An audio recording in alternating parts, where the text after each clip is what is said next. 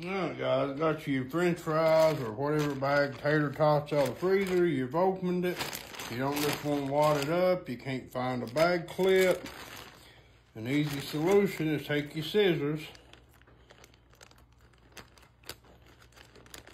Cut your little V.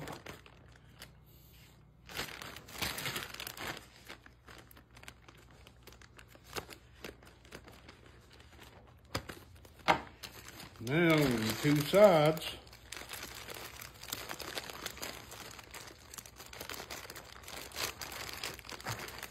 you can even tie it again if you want to, to make sure it don't spill out or come loose.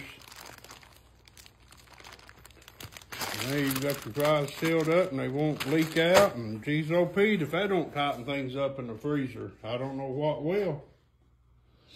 Guys hope it helps. Like and follow. Appreciate you giving me a share.